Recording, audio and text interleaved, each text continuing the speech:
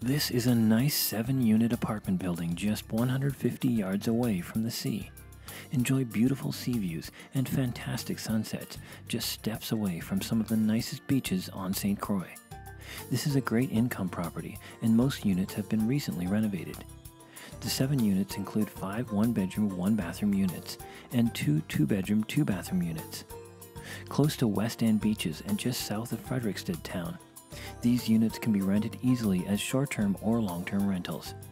This is a wonderful investment property.